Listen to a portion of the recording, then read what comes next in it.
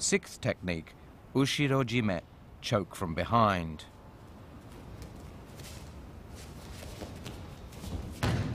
The Tori twists his body and pulls the uke face down onto the mat and applies an ude hishigi tegatame to control him. As soon as the uke attempts a hadakajime, the tori tucks in his chin and pulls down on the uke's right forearm with both hands to control the arm and twists his body to free himself. He then presses the uke's right elbow down to pull him down and controls him with an ude hishigi tegatame. The tori controls the uke's right arm with his right shoulder to slip free of the uke's right armpit.